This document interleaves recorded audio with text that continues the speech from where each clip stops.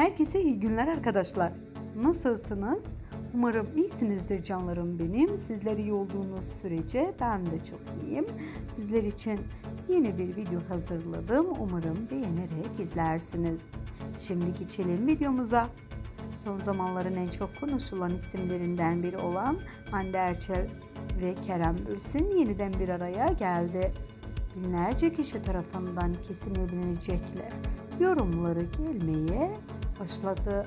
Hande Erçel'in yeni sevgilisi olan Kerem Bürsin Hande Erçel'e evlenme teklifi edecek mi arkadaşlar? Hepimiz merakla beklemekteyiz.